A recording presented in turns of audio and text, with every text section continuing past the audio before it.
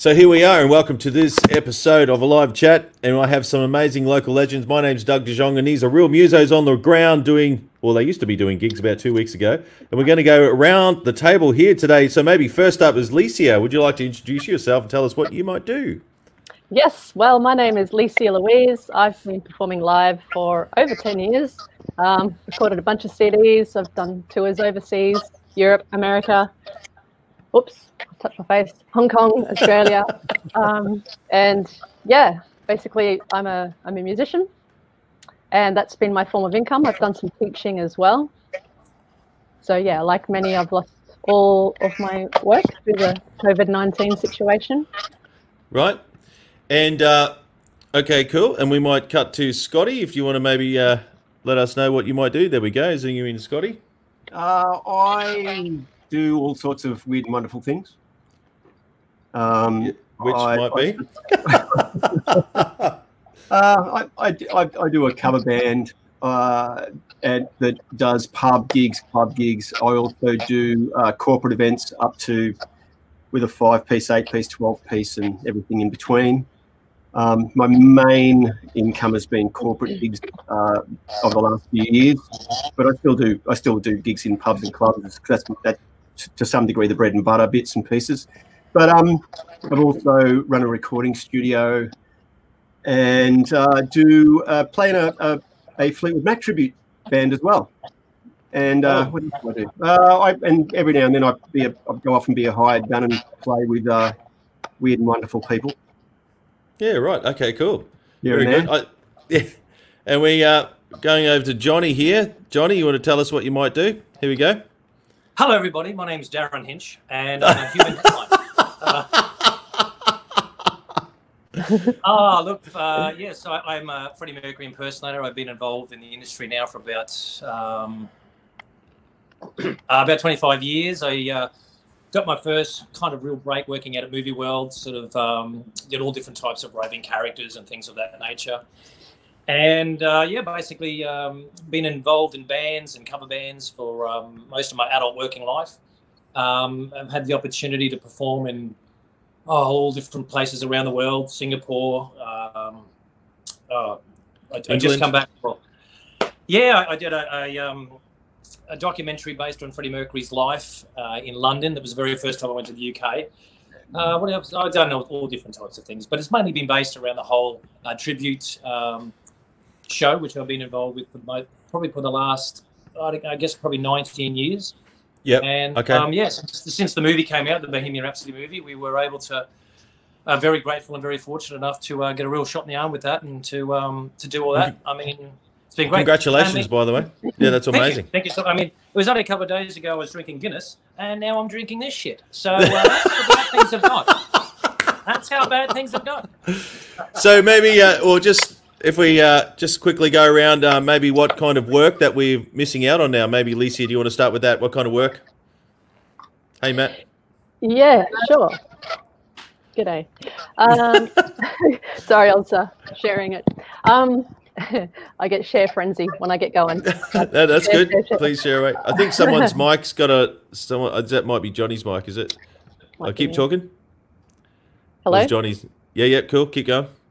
All right. So um. Yeah, you're yes. good. All right. Yeah. So um, well, yeah. Uh, a few weeks ago, started getting the emails and texts. Um, you know, gigs off for this weekend, next weekend, next month, uh, next month. Um, so, um, it, you know, it's interesting. I don't have a whole year booked out. I'll have a few months booked out, but I'll have little bits and pieces booked for maybe January or or September or, or something like that. But then the next three months, I'll be pretty. I'll pretty much know what I'm doing. So, um, I'm just taking it week by week, month by month, and um, so some people have pushed their festivals back that I was booked to play in June to November. We've booked it in, but we don't know. Uh, another one's been pushed back to September.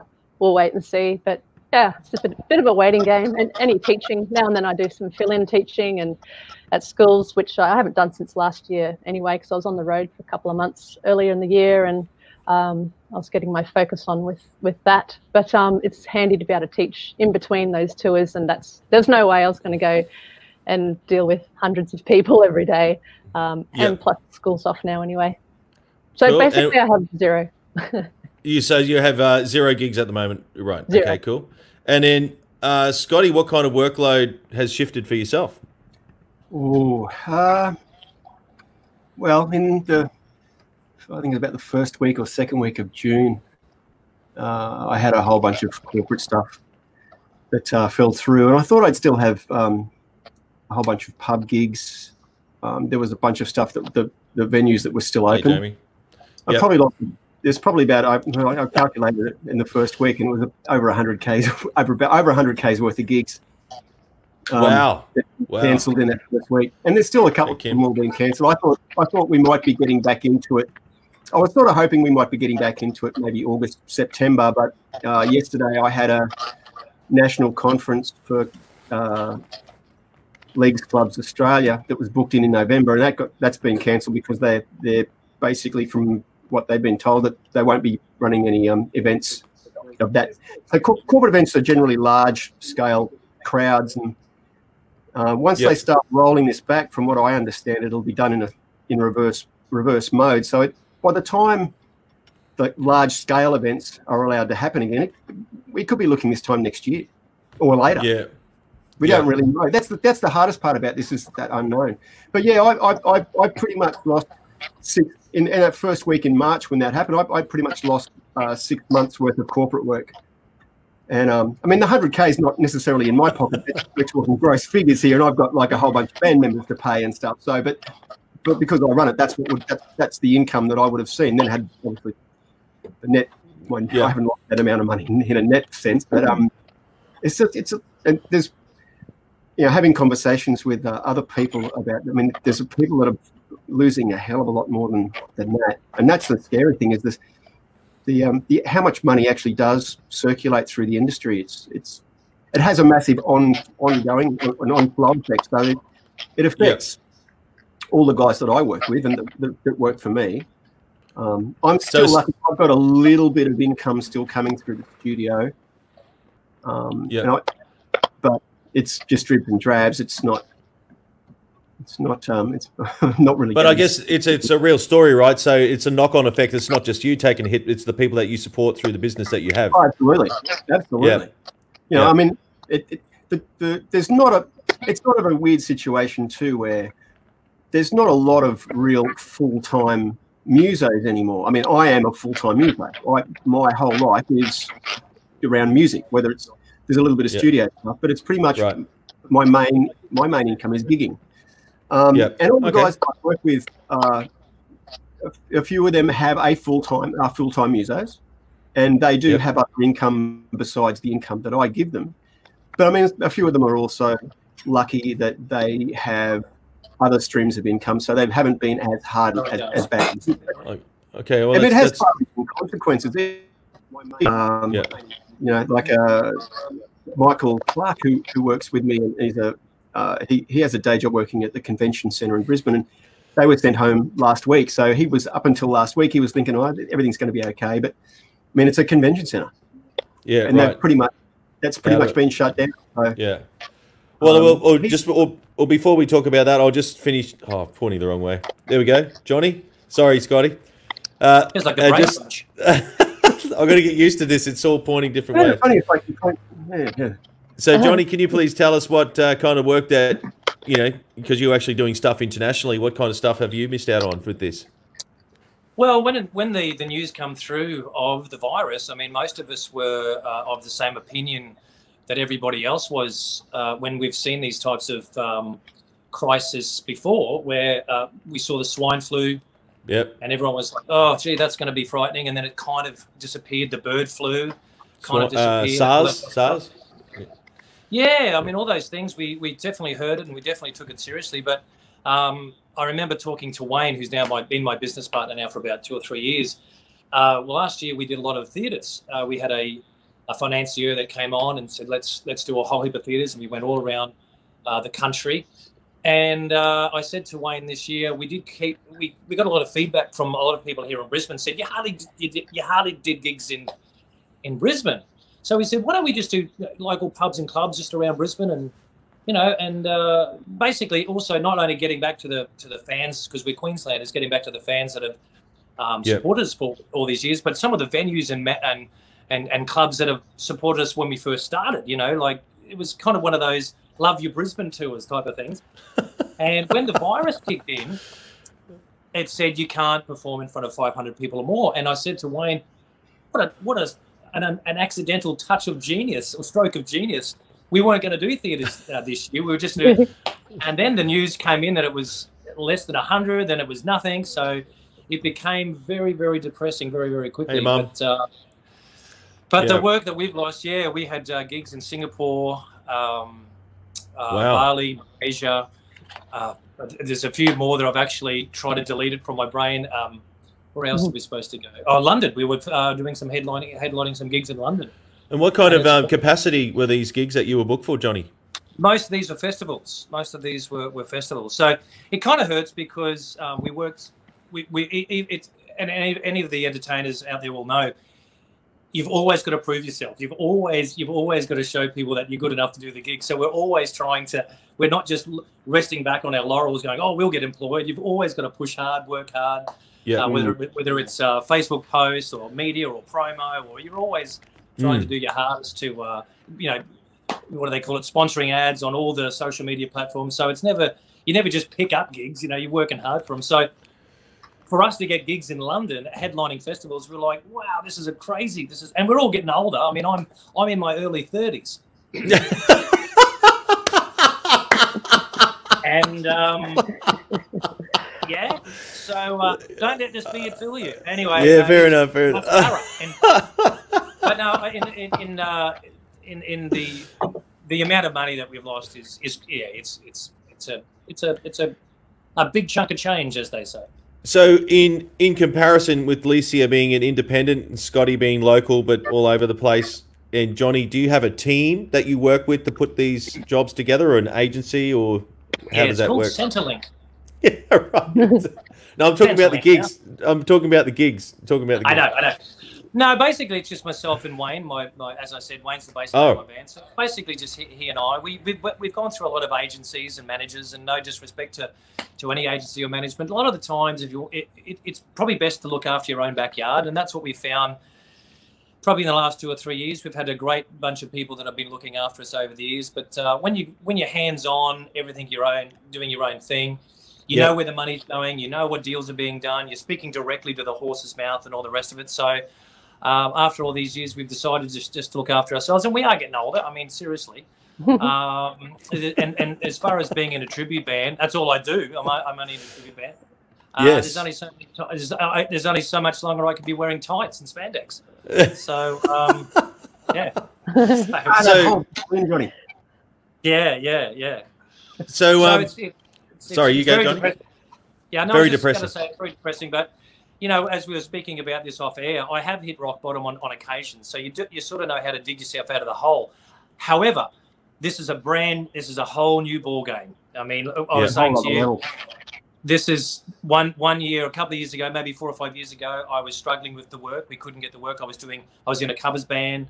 I was doing the. I was doing the tribute show. But we just just there wasn't enough money there to keep a roof over my family's head and pay the bills. So I, I, I started working for Avis, and um, it was actually great. It was actually great exercise. Um, washing cars. I was washing cars with all these other fellas, and I'm still all friends with them today. And when this this this hit, I thought I'm gonna I'm gonna give them a call if I can get two or three days a week. But as, as my old boss explained to me, I'm putting up everybody. No one's flying anywhere, so no one's going to be renting cars. Yeah. You know, oh, I wow. saying on feed too. All the um, uh, I'm a huge uh, sports fan. I love um, watching all the UFC fights and boxing. They call it a pugilist. I'm a, I'm a pugilist. But uh, all these um, sports reporters have all lost their jobs. They've all lost their Oh, jobs. of course, there's no course. sport to report about. You know what I'm saying? Yeah, right. No, it's uh, it's extremely crazy. And today was the very first day I went out and I did a few things and just watched how the world has changed. There was almost a security guard in each aisles of my little my little tiny Coles. I had to line up. There was a guy sort of saying, "No, no, mate, you can't take two two pasta uh, packets." I mean, who would have thought? I mean, the only reason why I'm filming this in this room because all the other rooms of my house are filled with toilet paper. Very good. Oh, so we- I bet you are. I bet you are. So going back to Lecia here, um, what are the ramifications that you? Oh, I think we've just got a massive post here. Um, this is about Johnny, I think. Well, sorry, Lisa, you just got blocked out there. Can everyone read that quickly? Uh, wow. Thanks, Brad. And has everyone got that? I can't read it. I hope it's good. Yeah, right. Do you want to read it out? Yeah, you, yeah, Yes. Alicia from underneath. There we go. All right. It can be a lifestyle choice, guys. RE Muso income. We are full time and happy with what we earn. Having said that, we do also receive a small amount from helping out venues with consult, uh, consultancy and booking a few acts. But if you can live within your means and not expect to turn up at a gig in a brand new BMW, then all good. Don't need to fight that traffic or wake up at 5 a.m. on Monday morning. Love your work, all of you, Brad and Debbie Martin. Brad and Debbie. There we go. Oh, your glasses on. There we go. No, no, I don't use that. So, okay, so uh, Lecia, so the knock-on effect for you, obviously, um, just the income is missing. But what about the other struggles? About you know, when we go and do a gig, I really enjoy the feedback, the auditory and visual feedback from you know shredding away and you know the engagement. So technically. Am I experiencing grief because I haven't been able to do a live show, and I really, uh, most of you know how I play, so you know I really enjoy that feedback. So I'm just wondering, is there any? Oh yeah, very good. Shredding, yeah, that's me. That's me. I'm just what what kind of things that are, that you're actually missing besides dollars? Oh, well, yeah, so much. I mean, money is just a small part of care in my life. Um, I should have more care for it, actually. Um, but yeah, I guess, well, social interaction is a big one. And, you know, being us artists, we like to express ourselves. Um, but just having a sharing, um, a sharing event with others. I mean, stuck at home and, you know, I'm staying with someone who's of an age that is vulnerable. So uh, extra careful. Um, yeah, so it can feel like the world is closing in at times, but um, you know, this this um, live streaming thing is is my only social outlet, uh, and prob- probably many, Yeah. I'd say. Yeah. Um, and being that I happen to play music, um, hopefully some people enjoy it. I, I enjoy playing music, so yeah. You're a great muso, Alicia. You're a great muso. Thanks, Doug. You too. Yeah. Uh, thanks. Uh, and what about uh, Scotty? What are, what's uh, some of the things that you're missing? Um, it's This a- was actually from your post. Actually, I got that question from your post. Oh, okay. it's a little bit intangible sometimes. Um, there's definitely there's it's def there's definitely a thing. I mean, I I do a few solo gigs, and um, I enjoy that aspect because I get to play music that I wouldn't necessarily get to play with the band. But the the, the one thing I miss. I mean, I, I could never just do solo gigs. It would do my head in. I, I, the band thing is, I guess it's that interaction with other people. It's the Right. camaraderie. You know, it's the it's, it's Loading it's, out helps. It's, Yeah. like their family. Like the other Yeah. band members basically are. They, it's you probably end up a lot of times, particularly in the in when I was like younger, touring heavily. It's you, it's basically your family. You spend more time with those people than you would spend with your actual with your actual family. So you, we, you've got really close relationships. And, you know, you might fight like cats and dogs sometimes, and you know, but it's that's that which is you know typically it's a that's a it's a real family thing to do. Can you um, maybe let us know of some of the people you toured with as well, Scotty? Um, uh, uh, lots of different people uh, doing support act stuff for everyone from Suzi Quatro to Tom Jones to uh, uh, shit. I can't think back. It, it, nearly all the Australian bands like Aussie Crawl Angels, uh, uh, Little River Band, uh, uh, Midnight Oil, Angel. Uh, I can't think now. Uh, but uh, and then and then playing uh, in a band with a guy called Ray Burton who wrote "I'm Woman" for Helen Reddy. Uh, Wow. And uh, spending two years working with uh, singing, fronting a band called Kakadu with Phil Emmanuel. Yeah. Uh, oh, his. He's a great player. Phil. oh man, he was he's pure genius, really. Um, Yeah. um, so I, I mean, uh, I'm trying to think. Uh, That's for you. That I've was for you. I've done a little bit of um, uh, like one-off things playing. I did a, a done one-off things as a like a hired gun thing with um, Mark Gable, Tania Doko, uh, uh, uh, several other, several others. I, I mean, Yeah.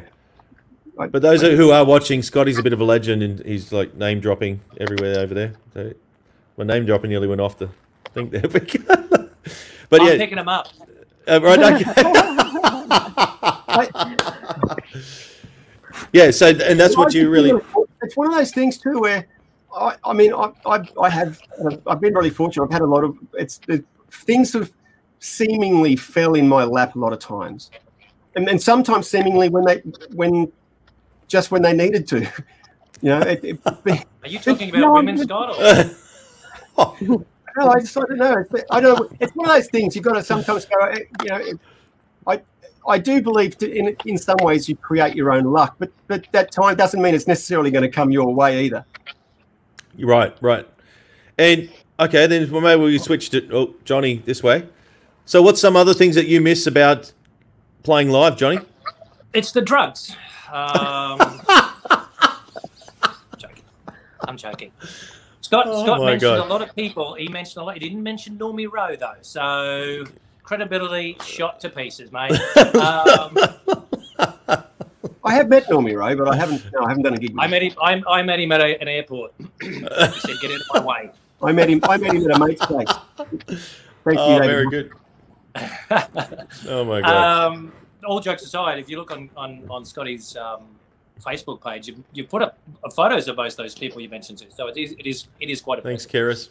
Yep. Um, oh, it, it really is. It's, it is. It is. Uh, I don't want to sound too melodramatic, but it is lovely meeting all the Queen fans. I mean, they always tell you what songs they grew up with and what they've got married to, and you know, and all that type of stuff. It's um, it is. A, it's a social outing. It, it, when I first started doing, it, I'm a very nervous performer. I kind of, it's, it's really weird. I'm just lately started to to relax more and enjoy it more. But uh, yeah, it is. It's uh, and it, it is as as Scotty said, the camaraderie between um, everybody in the in the band. We've had our blues. We've certainly had a few punch ups and uh, and stuff. But I think it it, it builds. Um, I, I think it builds a bond between you, unless those people that you're working with are complete assholes. It uh, it will not create a bond. It will create uh, corrosive animosity. But um, yeah, I, I'm, I'm lucky. I've got a great bunch of guys around me. In fact, whenever they hear me say that I'm a musician, they always go, "Hang on, hang on a tick, Jono. You're just a mimic, you wanker." Um, or they'll say, "Hands up, all the musicians in the band." Not so fast, John. Not so fast. But uh, they Hey, are Pam. great. They really bring the best out of me, and uh, I'm really lucky to have such a great band behind me. Uh, except Randall, of course. I don't really like him too much. Um, but kidding. He knows I'm kidding. Uh, but no, I do miss. I- Of course, of course. Um, Alicia said that uh, the money is is is a bonus. We love to get paid, and but uh, just you know, there's nothing quite like heading out on stage. It's almost like flying. You know, as as soon as you sort of Mm. hit that first note or start singing, it's it's an incredible feeling, and it is weird. I do miss it a lot. I really do miss it because it's an adrenaline rush. It is. Yeah. So yeah. So luckily, I've got um, you know all, all these wonderful people that are, are doing what we're doing that we can all sort of cry on their shoulders. Yes. Yeah, I, I I agree. I really miss being able to do the elbow live, so I have to do that by myself at home. So you know, Oh, okay. a lot of elbow Yeah. on the on the guitar, but you'll have to actually Yeah. check that out. But um, yeah. hey, Bruce, how you going, man? Hey, Fog. So uh, going back to Alicia, Fogarty, Bruce Fogarty's in the room. here we go. Better put him back for it up. Get down for us once. He was fantastic. Good old Bruce. He probably knows everyone here. Does everyone know Bruce? I'm hopeless with names. You know. All right. Okay. Bruce is a bit of a legend. Around the Oh, place. he is a legend. He's a Oh, there you Hey, go. Pete. Yeah, Uncle Pete. That's my Uncle So, Pete. so um, okay. So, what about keep? What are we going to do now? So, um, Lecia, what do you do to keep keep on it? You know, I know we were talking today about learning all this technical stuff because to stay ahead of the curve, it's, it's just hard work, right? So, what do you do right now? You know, practicing social media, or well, I guess you can't really go out too far, but yeah, how do, what do you do musically to keep in a good headspace? Um, yeah, so um, a, a- a few weeks ago, when it all, all started collapsing, um, Michelle Fitness, a friend of mine, put out on Facebook, so who wants to do a, a live stream with me this weekend? And of course, I had been thinking, well, I suppose I could do a live stream. And so that was a bit of a nudge for me. Um, and I was not going to tell many people. Um, and then I rang Pam Hatter. I said, "Hey, we've got a gap. You should do it." So she did it. That was our first one together. She runs Original Sound Lounge. Um, Yeah. And yeah, so I've done four live streams since then, and I'm just learning about lighting and how to not talk too much in between sets and to practice a little bit more. Um, so yeah, I've been practicing a bit more and um, writing some songs as well, which has been really really enjoyable. Um, some days are quite quite dark, especially like um, you know, and just trying to get my tax return finished, and because I did press the old affected by COVID nineteen button, I thought might as well give it a shot. You know, it's not easy for sole traders, but so I'm just filling out the documents for that as well. So basically, yeah, practice writing. I will get to do some recording um, for myself and for others. I'd love to do some virtual jamming. Um, you know, maybe, Yeah. maybe I'd like to try and figure out the online workshop thing, but I, I'll cross that bridge. I, I might ask you Yeah. how. Uh, how you Yeah, yeah, no problem, no problem. Yeah, I'm actually investigating that because I've got some uh, students around the world, and so Wow. I used to use Skype. Yeah, I've got students. This sounds crazy, but it's true. I've got students in Germany and America, and uh, I mean, who wants to learn from me? But anyway, it happened. It's a true story. But Cool. um, Yeah. yeah, but anyway, cutting to Scotty. What do you do, Scotty, to keep in a Um, positive and upbeat mood? Uh, I've um, I've had a, like I said, I've had little dribs and drabs coming through the studio, which has been keeping me busy, and and it and it stops me from sitting around and twiddling my thumbs for too long and dwelling on how you know what's going to happen over the next several months. I suppose goodness knows how long it's going to be. That's I think that's the most worrying thing. How long it's going to be. So I've been trying to come up with things that I can work on now, and that hopefully will make my life better once we get out of this. But no one knows how, how what's going to happen when we get out of it. So I guess it's. I mean, I'm working on my. I I, I love playing. I love playing guitar. So it's. So I I, I try and spend a, a good couple of hours playing every day just because I because, I love it. And if I don't get a chance to do that, it's I get a bit. I get a bit um, down in the dumps and frustrated by the fact that I I, I haven't actually done that. I, I guess it's a it's I find it a bit cathartic and um, Yeah, and it's also think- one of the things I, I, in my mind I know that if I don't use it, it's that thing. If you don't use it, you lose it. And I know that at my Yep. playing level, if I don't keep if I don't keep playing and, and it's that thing singing as well. If I don't if I don't use my voice and, and use my playing skills, that it um if I don't maintain them, when we actually get back to gigging, I'll be um it's going to be a bit scary. yeah, So I'm doing a bit of that. I, I I'm I've been writing some stuff as well. Um, I'm work. I mean, in the, the great thing that is in the studio is I've got a few uh, clients who I've been able to do some stuff remotely, work on mixes. Uh, Yep. uh, I have a couple of uh, a couple of uh, clients who um, are just basically singers who really play an instrument very basically, and I get to fill in all the gaps and be creative around that. And I really enjoy. I really enjoy that process of bringing what I what I do to the table and, and enhancing someone else's songs. Can we name uh, drop your studio? Can we name drop your Uh, studio? oh yeah, the studio's called the Recording Room. I'm in Burleigh. Head. Um, I still have people. I, it's really. And I did a. I, it's, I've done some really interesting things over the past couple of weeks. I did a. I did a podcast for Life Education Queensland. I've done a Oh couple wow! of journalists come in who couldn't access studios who wanted to do phone interviews and had recording phone interviews. Uh, Oh wow! I've had a, a guy who's a filmmaker who does uh, like comedy skits and stuff, and he's come in and done some recording of comedy skits in the studio. So, and I've got a few more of those sort of things booked in. So, I'm hoping that we don't get the complete lockdown, so I can still have at least one person coming in and, and um, doing stuff in the studio because that helps. Obviously, helps my little bit, gives me little bits of income and stuff to get give me give me some cash flow. But Yeah, um, I, that's that's good because it, there's a crossover with the other arts that need your services, right? Not just musicians. well, that's and it, great. and it, and it gives me some interaction with the outside world. right? so- yeah, that's very well said. What about you, Johnny? What do you do to stay in a positive mindset? Basically, masturbating. Musically, Um, musically actually speaking, sir. Musically. Oh, right. I can't. yeah, yeah, no, I, I don't want to on. There's no dramas there, and the lights as well. Oh wow. Uh, no, look, it's uh, it's really quite really, really quite devastating because uh, we actually thought that this was going to maybe last for you know two or two or three months. But I, as I was saying again to you, we had a little chat this afternoon. I think the year's gone. I, I don't want to be the doomsdayer, but I do believe that the, this is not. We're not going to recover. In fact, my my because I've got sarcoidosis. It's a it's a um, it's a lung disease. So you- the easiest way to explain Really? it is, uh, yeah, yeah. So Wow. my doctor said you, you can't you can't leave anywhere because this disease or this virus attacks the lungs. So uh, I've only got really one good. Well, I got a, a bad lung and one lung that's not great, and I'm on Wow. prednisone, all that type of stuff. So I, I'm probably susceptible to it uh, more than any. Well, more the same as an elderly person. So Who's uh, um, 30 years old? Yeah, right. I mean, I was a little bit Thank surprised. you for remembering. I was, I was a little bit surprised by the whole. I mean, I've, I've got diabetes, and when they were talking about Oh, when they were talking about the, the virus, it was like, you know, really really bad for people with heart condition and diabetes. And I'm like, what? What the hell? But I mean, I can understand, Yeah. Johnny. but That's just with, with the lung problem. I mean, it's. That's, I didn't. I didn't know that. I didn't know that, mate. yeah, I didn't know that either. Yeah, wow. Yeah, and what about you, Lecia? Are you at risk of anything? Or? Uh, no, I think I'm pretty good. Um, I'm, Oh, stop I'm, bragging. Stop bragging. I'm, I'm, I'm all clear, and I'm the first to drop. um, You just got to worry about that. that you just got to worry about the, the people you live with. yeah, exactly. That's that's my main concern because um, I'm living Mm. with a vulnerable person. I mean, you know, um, who knows? I don't know. I, I should be right. Maybe not.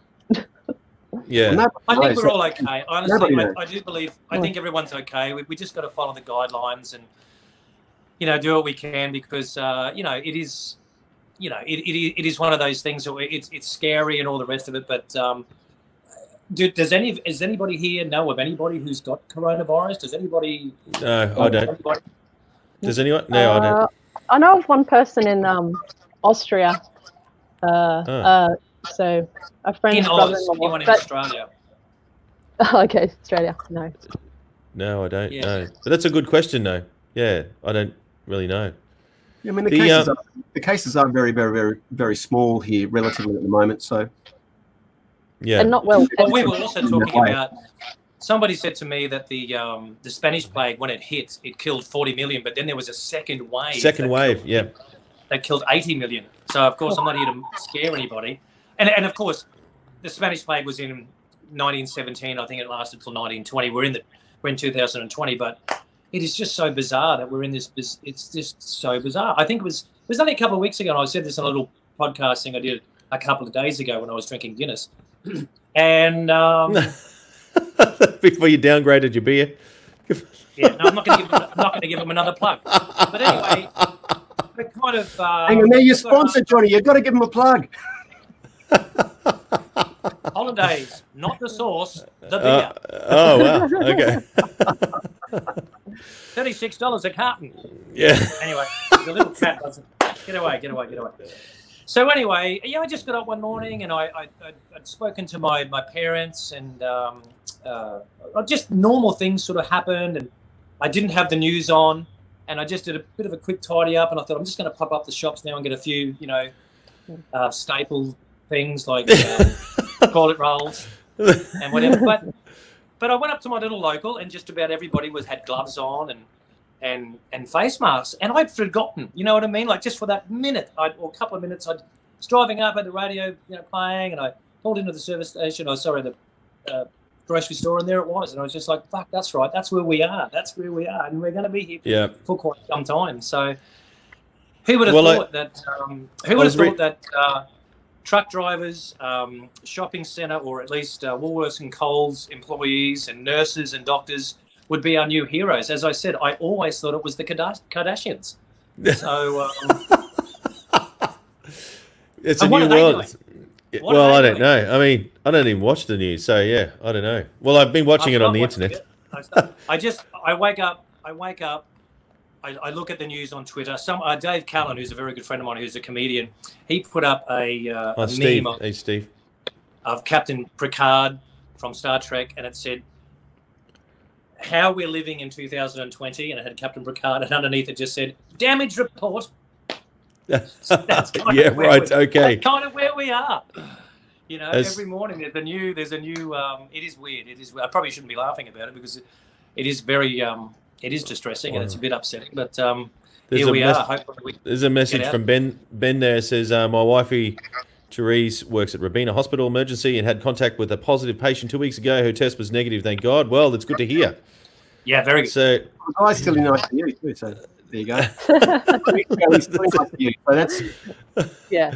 so um, the only thing that I mean, I know we're still talking about the virus here, but the multiplying factor apparently the flu is like 1.4, so 1.4 to the power of 10 is about 28, I believe. But with COVID, it's uh, multiplying factor factor of three. So uh, that means after three to the power, uh, one to the three to the power of 10, and equal equals 59,000 people. So it's. Do you remember? Yeah. You remember the cartoon Charlie Brown? Yes. Remember the teacher when he was talking and you know, wah, wah, wah, wah, wah, wah, wah, that's all. Sounds like a wapper. All right, well, yeah. I, I am that. a teacher. Yeah. Yeah, That's all I heard.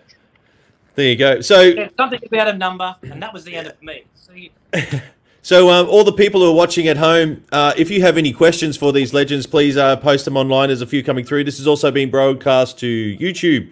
If you look up Doug De Jong on YouTube, it's actually there. Steve's got. Is that a question here? Keris, he was 69 years old. Cool. So, what? Oh, it- doctors and nurses, frontline crew, putting yourself through families. Yeah, wow. Uh, feeling a bit fed up. I think these selfless people. Yeah.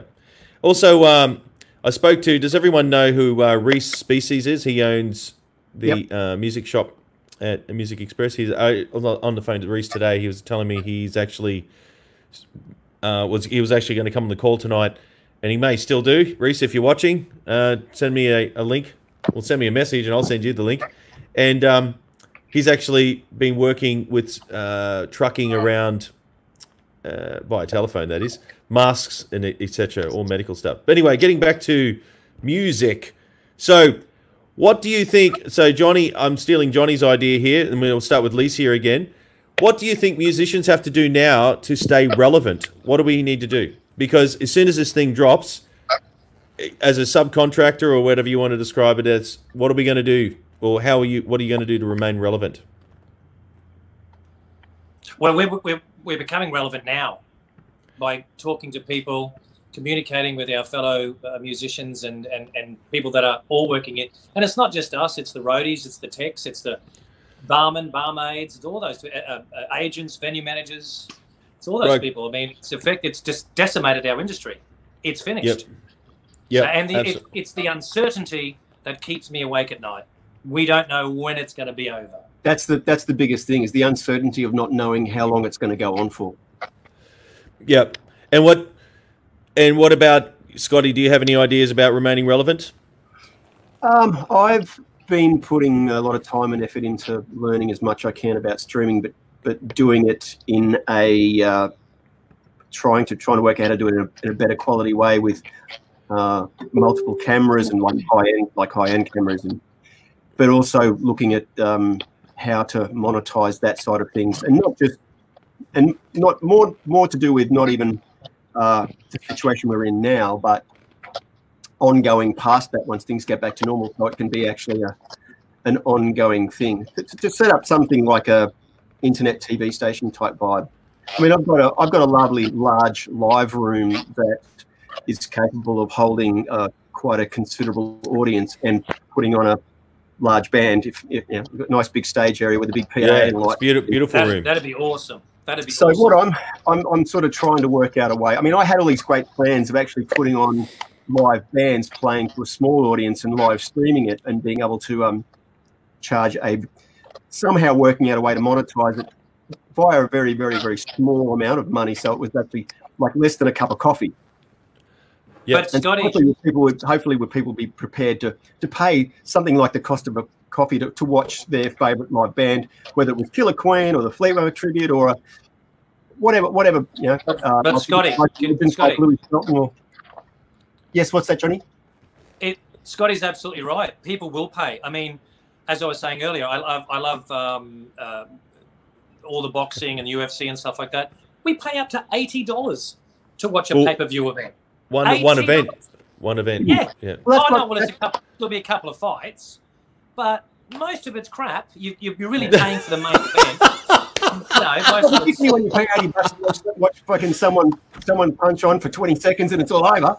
Yeah. Fair Well, enough. it's it's it's physical chess. Let's not get into the whole violence thing of it. I, I'm not I'm not here. To, and, No, I, I, and I was be- thinking, um, particularly in this moment now, but the, the, it's there's a lot of people out there doing the live streaming thing for free, and that's great. It keeps it, it, it I mean, it's a it's a wonderful thing to be able to share what we do, and, it, and obviously it's that great thing too, where it keeps it keeps you in um, performance mode. I, I I love watching Rob Rhodes do his thing. He, he does a Yeah, he Rob. does it well. there you He's go, got it nicely, and it looks great. And it's, you know, it's that thing of trying to trying to do what we do and actually make it make it a little bit entertaining. Make I saw a Bruce. thing earlier on this evening with uh, Pete Northcote with a lovely Terry. uh, singer down I in saw Sydney. that.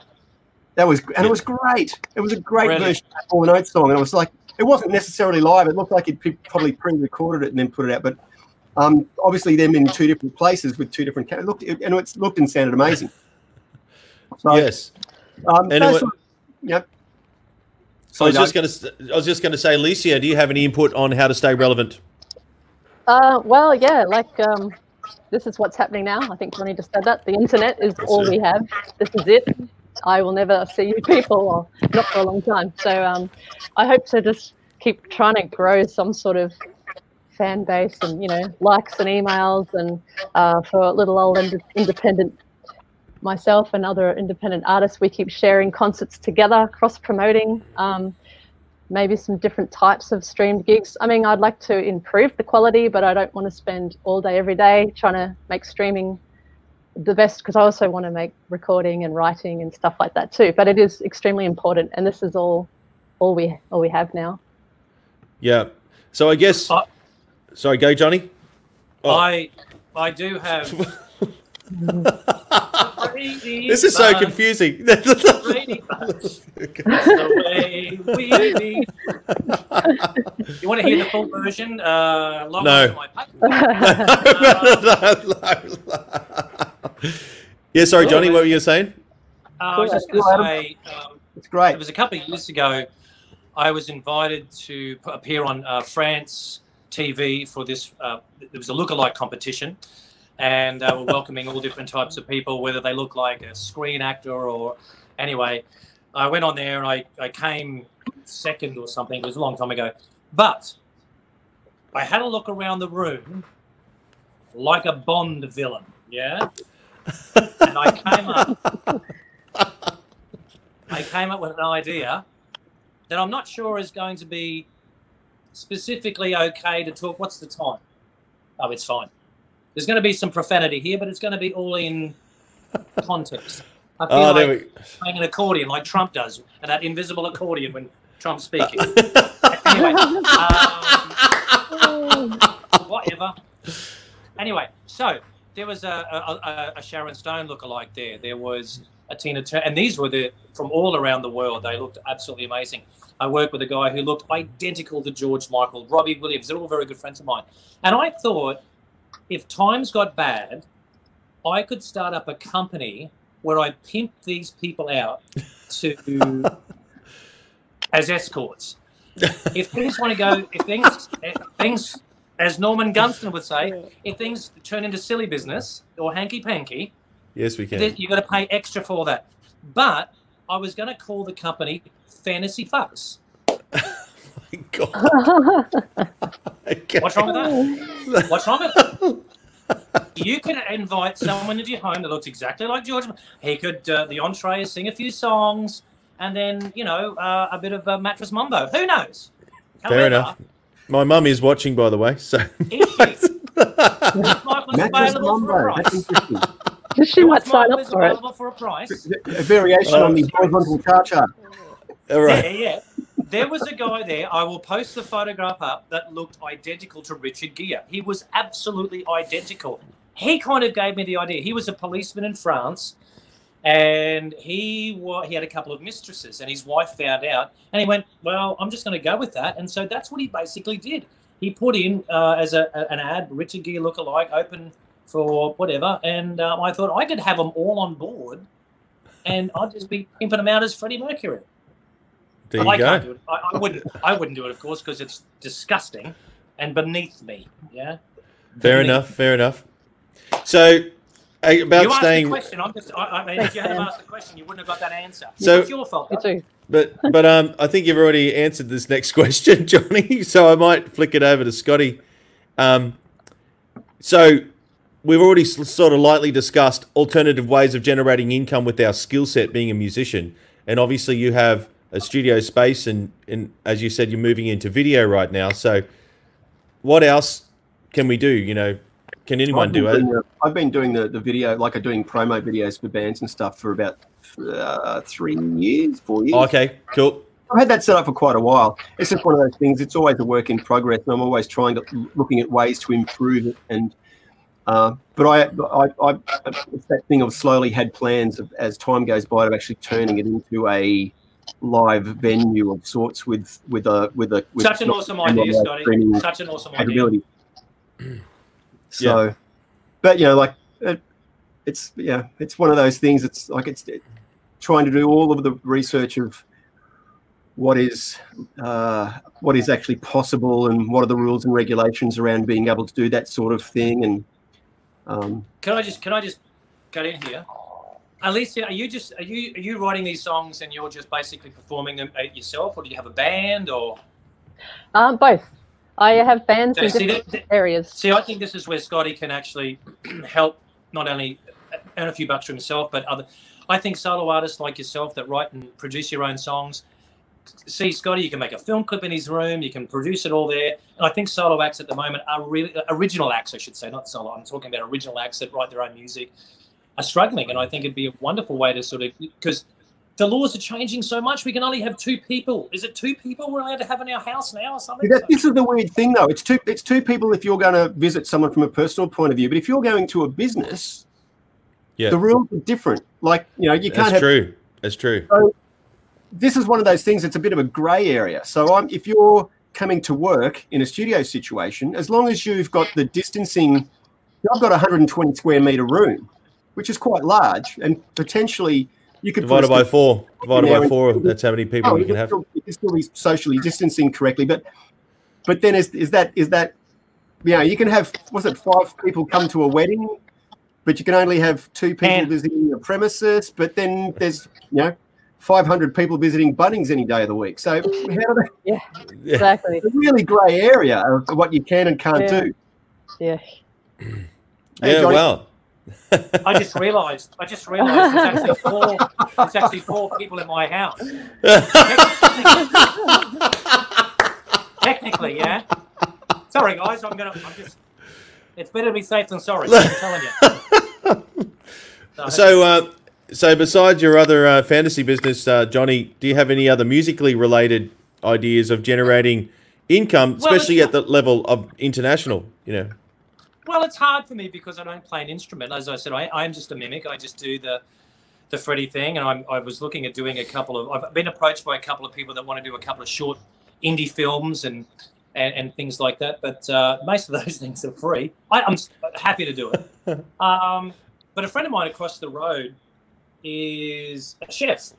And he said to me, Why don't we do some sort of cooking show on, on YouTube? And I said, Well, first of all, it would stop me going crazy and uh, so that'd be that'd be cool. So that's we're looking at doing. I've got a couple of few other ideas, but it's not they're not money making ventures. It's mainly just.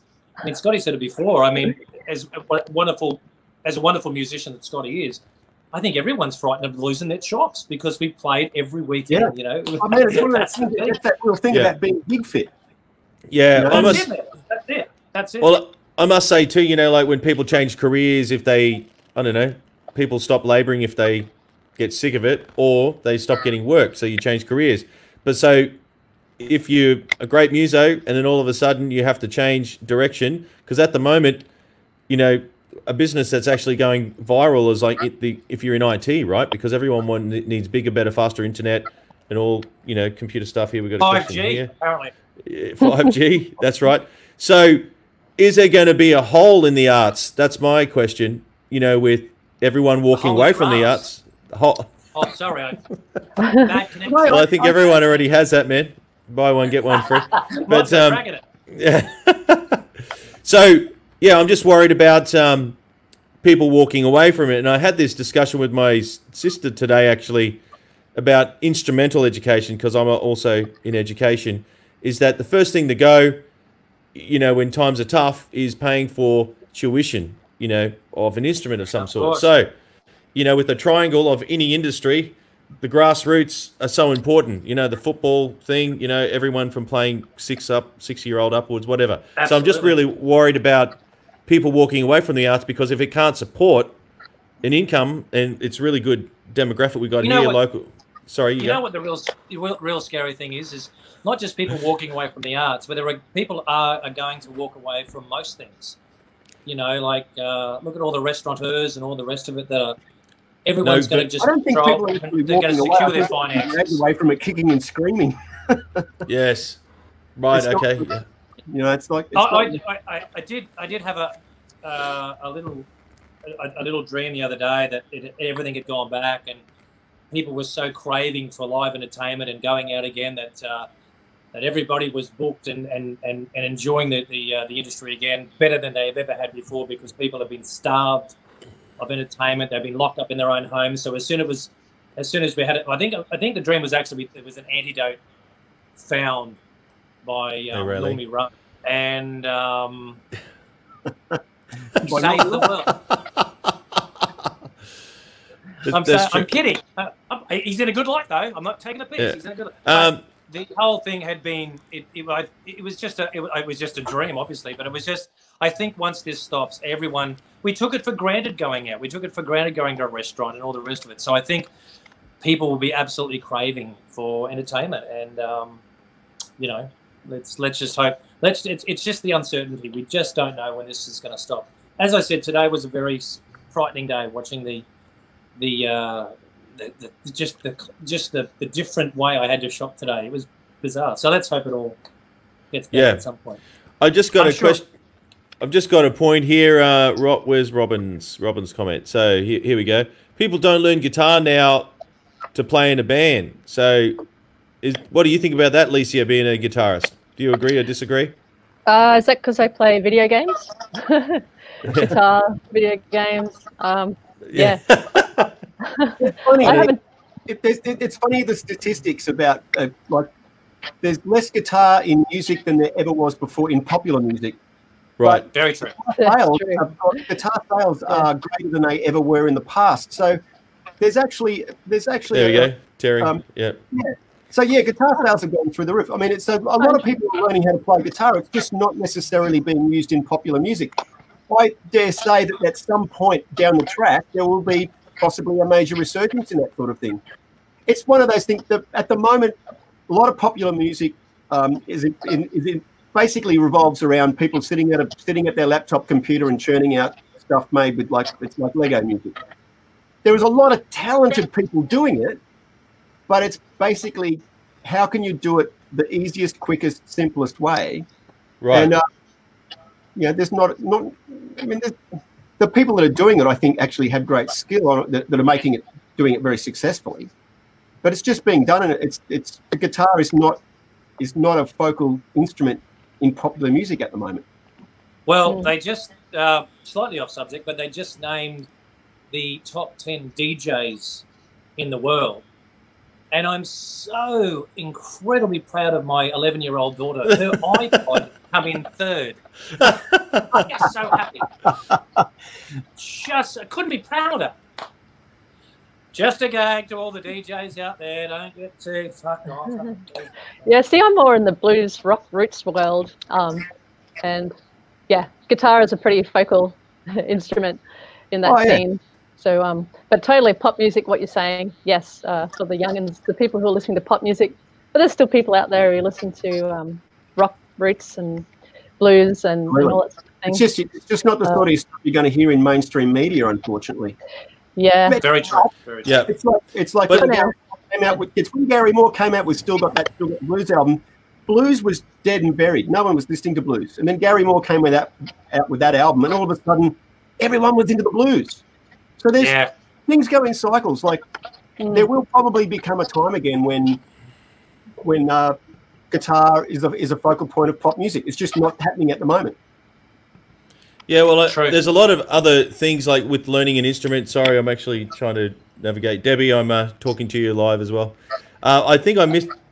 missed a comment from Debbie, but I was I thought I put them all up, but I'll have a look at that in a sec, Deb. But with learning an instrument, there's a lot of other disciplines that happen with learning an instrument. So with I can say this from teaching students is that first thing is about you know being aware of your belongings. You know, so when students are learning an instrument, they bring an instrument all the time, so they actually take notice about their surroundings to bring it. in. Also, the discipline of about going through a frustrating time, and you learn um, what do you call it? I can't remember the word. Uh, resilience. Resilience is the word. So that when you, you know, every musician knows you're going to suck at the beginning. So you just have to keep pushing through to get and it in done. the middle. Yes. and sometimes at the end. Oh, I remember when I first started, it was like, if only I could play this one particular song, it'd be amazing. And then a week or so later, you're playing it and you're going, oh, that wasn't so hard. Okay, next I'm going to learn this, and if I can possibly learn this, it's going to be amazing. And then you then you achieve that goal, and you go, well, that wasn't so hard. And it's and that's that's that's all part of that, that learning curve. Of, and then look, then you get to that point where you realise the more you learn, That's true, Steve. Yeah. so much more to learn. Yeah. The more, uh, the more you know, the less. Sorry, the more you learn, the less you know. yeah, Um, some I've that's- just- that's pretty true. I'm Thank just you. getting everyone's. Uh, Applause. I'll just uh, get everyone's uh, thing up here. I just want to. Uh, don't tell me jamming is dead. Oh, Fog- I hope not. No, no, no. I'm just going to quickly scroll through these comments. If there's any more questions here, uh, Gary Moore modernized it. Uh, that's from Debbie. Um, 40 years players. Any, has everyone got? Oh, yep. Cool. And music cycles. And I've just, yeah, that's good. Scotty, that's for you. And Remco. So, Doug, learning music is like martial arts. It's very true. It's a discipline. I just got to go up to this uh, comment Very that. Debbie Debbie made before, and if we just talk about this, sorry, my multitasking uh, failed me. So here we go, Deb. So, okay, if you say so, though, no one knows who's in the house, who's coming into contact. Oh, so this is about COVID. So yes, I was sad that our gigs hit a brick wall, but as a front person for our band, and obviously we do the duo too, I'm always in people's faces, and they're sweating all over me all night. I'm kind of happy in a way that it breaks uh, were put on us. All right, so that's kind of a um, if I'm interpreting interpreting made up a new word interpreting Translating. Translating. Translating. the um, that this might be a good time to just have a chill of whatever you may be doing and you know put in perspective of are you really doing a daily grind so that might be a good question to go around table is are we maybe looking at this as a good uh, way to have a break and um, count count the beans and maybe think about what you're putting your time and effort into johnny I'll go first. I am a full time musician. I do this uh, full time, hence full time musician. Um, so it's my only, it's, it's all I do for a, gig. It's there. Uh, Debbie's got a point in some in some ways. Uh, there was a time last year where I was starting to feel a little a little burnt out, a little bit jaded, and you know, as I as I've said before, it's very hard to put on the, the yellow jacket and bounce out as everyone's favourite Freddie Mercury when you're having a shit day. But every performer goes through that. Everyone does yes it. um, but I've I'm I'm acting. I've got to pretend that I'm. People have paid their money to see a, a an impersonator or what it might have been like to see Freddie, and of course, it is hard. And we were we, we did almost 100 gigs last year, which is, as I said, I think the real Queen have done like some phenomenal amount of uh, gigs. But um, yeah, look, it, it, it may be it, it, may be cool. I wouldn't want to break for two months or a month, but uh, Yeah. I think we just got to keep going back to that one word, uncertainty, because uh, I'm not sure what. Um, I think Debbie said she was a, mu- a musician herself, or uh, the yeah uh, front That's, uh. She runs a site called Pub with No Fear with Brad. So you need need to check Oh, that out if you're watching. Yep. I think Debbie I've actually joined the page. I think I've actually jo- joined that page. Yeah, I But, think um, they're yeah, going well. They're going I, I agree. I, I agree. She has a point. But I mean, we this is this is the only. Uh, and for me, I'm not a musician. I can't just pick up a guitar. I can't just pick up uh, an instrument. It was just. It, it is basically what it is. And a lot of uh, Hey, frontmen Terry. in my uh, they're in tribute acts uh, are, are that. We're just that. That is who we are, and that's what we do, and that's how we make a living. But Mm, um, I- I- yeah, I agree totally. And it's one of those things. And I, I, I love what I do. And I really do miss. I, I miss doing it. It's like Yeah. I, it's a Yeah. the live performance as, aspect of, of, of playing an instrument. It's that thing you can sit. I mean, I do still love playing in, in the studio and and, Thanks, and just for my own personal pleasure.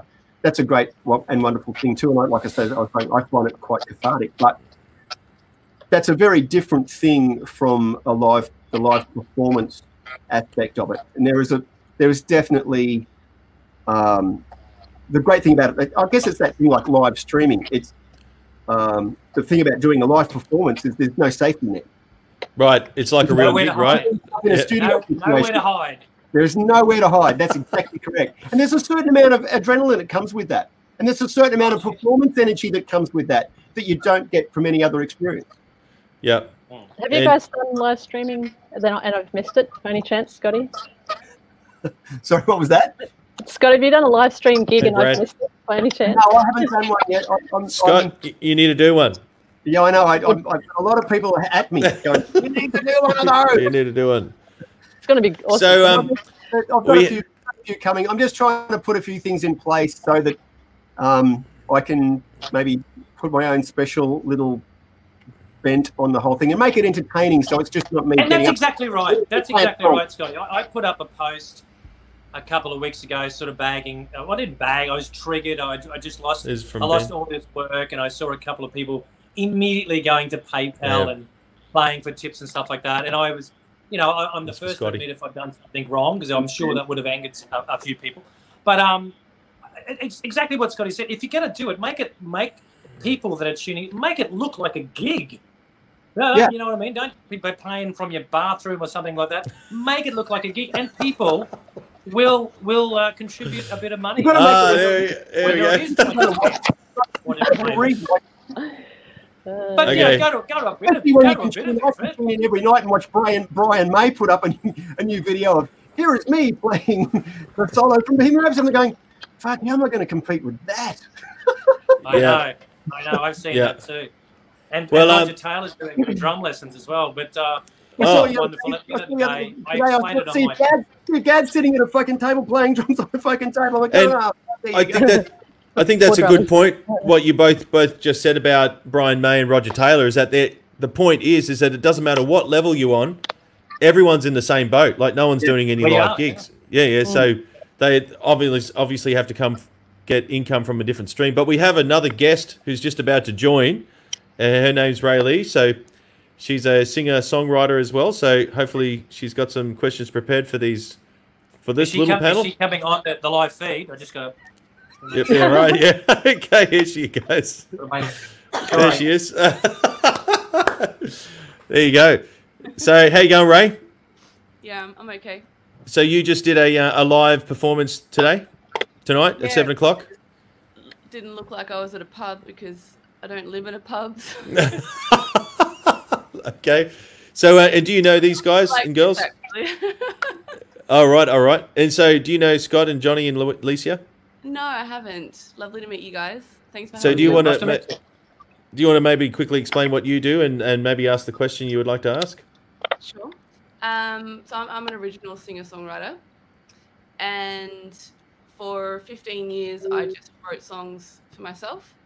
And uh, last year I went to Nashville. I had done a few songwriting retreats and worked on that, but I'd never performed. And started performing about six, seven months ago um, with Debbie and Brad um, at their open mic and things like that. That's how I met Doug and a lot of other people from the Gold Coast.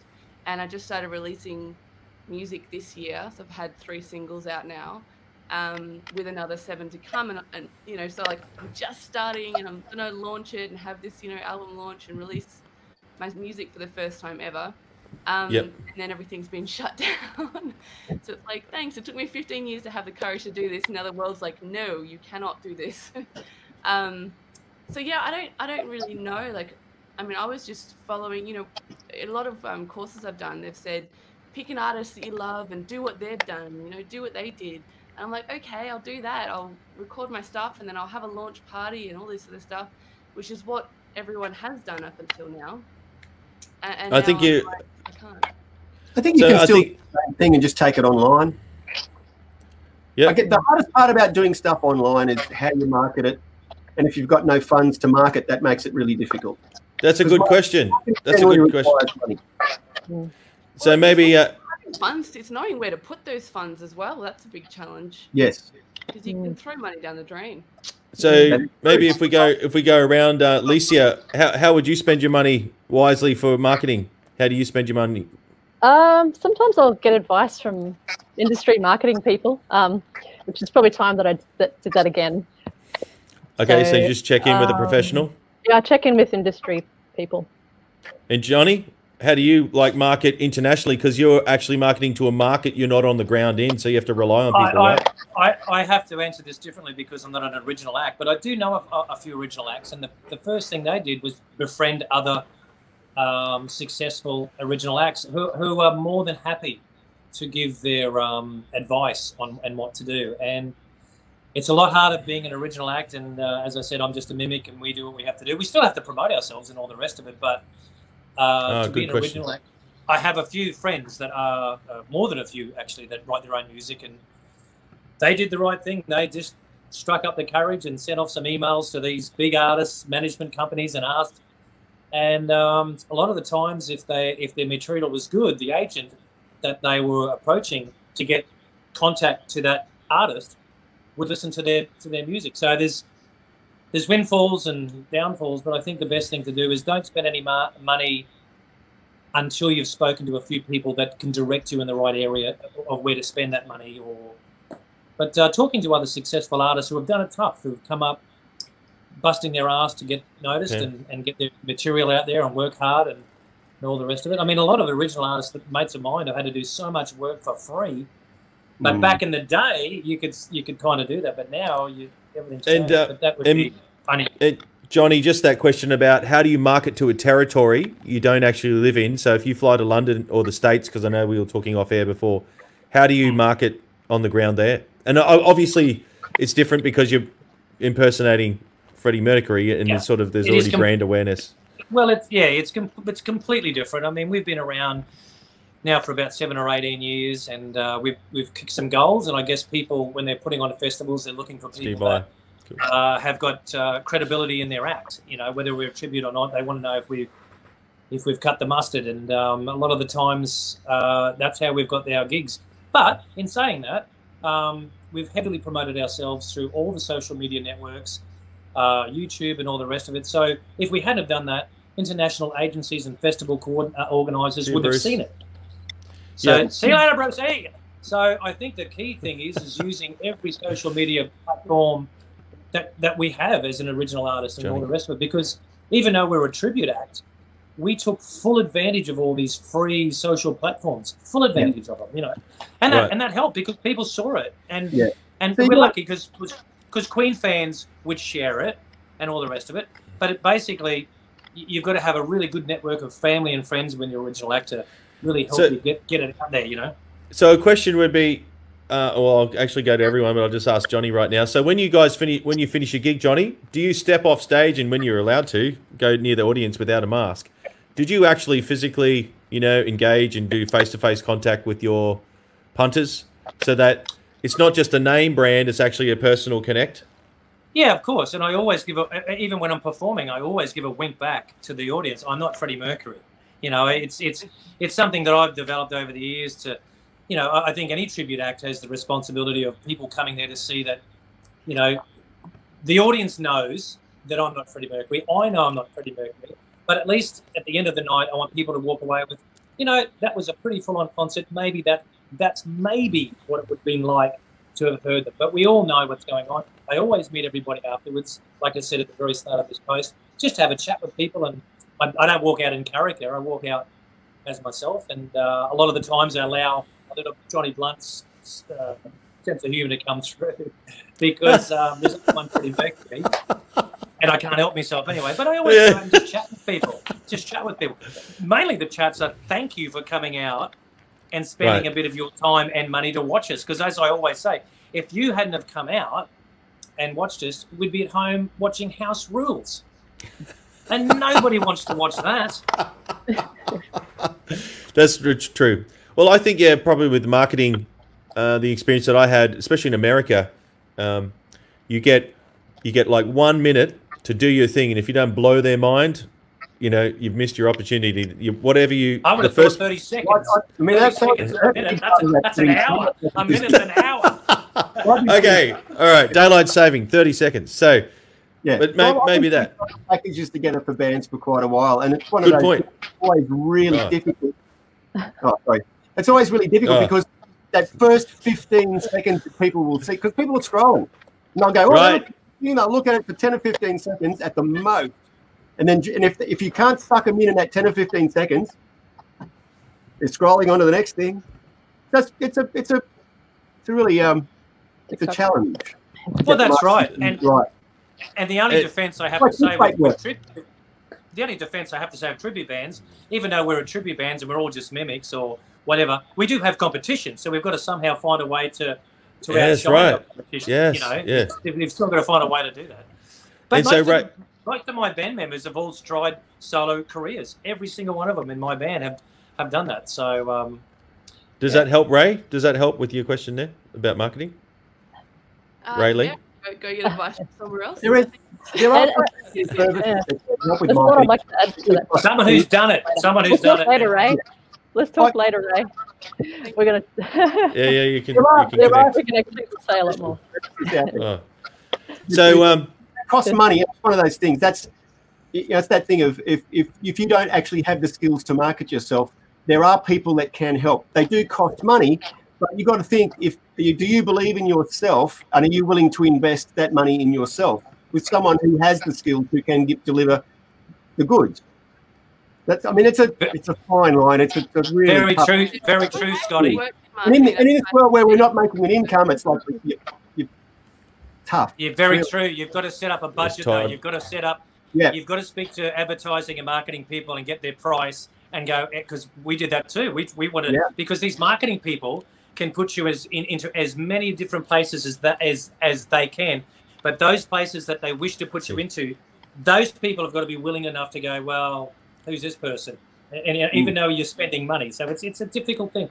Friends I and family with my my original my my friends that have done original music it's their friends and family that have got themselves where they are today. Casey Barnes, you know, like yeah, Casey he's a, Barnes. he- look at him go. Yeah, it's great. yeah, and, and if you want to talk to someone, talk to him. Really Invest- believe he's it. invested, he would have invested quite heavily with marketing people. Yeah. Absolutely, You know, and, absolutely. it, and it's, ma- it makes a big difference. And so maybe having, having having someone with, with those dedicated set of skills, because you can't be as an artist, you cannot be every, you cannot be the accountant, the publicist, the musician. The, you know, you, you have to be able on. to. You have to. You have to actually have a team of people to look after those things for you, and it's I totally Yeah. believe that. yeah. unfortunately that costs a little bit of can cost a bit of money, but it can be money well spent. Yeah. and, and Lecia, um, besides asking people, like, have you actually invested in anyone or recommend anyone on anything that we've just been talking about? Um, yeah, I I think it's really important that you do have an understanding of what each of those roles do, and, and I do pretty much do everything myself. Um, however, I do spend money at, at times in different different areas, and I have to pace that out because you know, like yourself, independent artist, self-funded, and it's so easy to just splash a pile of money here and splash a pile there, and then it's gone like that, and then you're climbing up that financial hill again and again. So I think it is Yeah. really important, and then you know what you're hiring them for. So it's like I, I want you to do like can you do this job? And and I will continue working with you. Um because yeah, however, you know, look how successful I am. So I don't know if that's helpful or not. Um, yeah, uh, you know, but this is a time to look within and, and make new promotion and maybe find other people to work with. But I really think it's important that you have a, an understanding on ev- everything of your business. Um, that you know, I think um, I was actually talking to Pam today. I, th- I know that Pam's listening. Uh, we might have another streaming of about being have, and maybe Scotty, you could get on this one about being uh, marketing, uh, socially social media fit. I can't remember the word, but just having your act together in what what you need to promote. Blah blah blah. But I guess it's the thing treating it like a business. yeah, exactly. And I and I There's think and then there's the business. yes, Yes, exactly. Well said. Well said. Two, there's two, there's two schools that are happening here. Yeah, but I must say, from my experience, biggest artists are now directly accessible. Like they've all got Twitter accounts, they've all got you know Facebook, uh, Tumblr. I don't even know what Tumblr is. I thought someone fell down the stairs, and Isn't it- isn't it- yeah, you know, Uh, Boy, Boy George wrote a song about it. really called. I'll tumble for you. I'll tumble. right there you go. The um, so what I'm saying is that I think for marketing, it's personality. So even like right now, pe- we're all being judged for our personality about how we talk about things, how we judge about things. So you know, um, I think just any kind of media you need to put out. You know, you just need to keep putting it out. Yeah. Does that answer your question? Any more Fine. questions, Ray? Regular output. Mm. Um, no, that was um, really helpful. Thank you. I appreciate you taking the time to answer my questions. That's all right. That's cool. Any um, any more points from anybody else or any anyone who's uh, watching? Hey, Deb. Oh, I don't judge. oh, everyone knows the musicians look because I, you know, everyone, you know, as soon as they come in and they start crossing their arms, you know, that's the guitar. That's the guitarist look. You know, so you you know about that. The guitar police. The What's guitar it? police. the guitar police. There we go. I, Just. Here we go. Here's a question. I'm not a great muso, but our band is so busy due to the business marketing side. I spent a ton of time definitely as a business. Okay, cool. So maybe if we might wrap this up very and the next, well, I want maybe one minute, uh, one hour thirty, over done and dusted. But what's the best thing that you can spend your money on? And we might start with uh, Ray. What's the best thing you've spent your money on so far in your music career? Oh, the, re- the recording, for sure. Recording.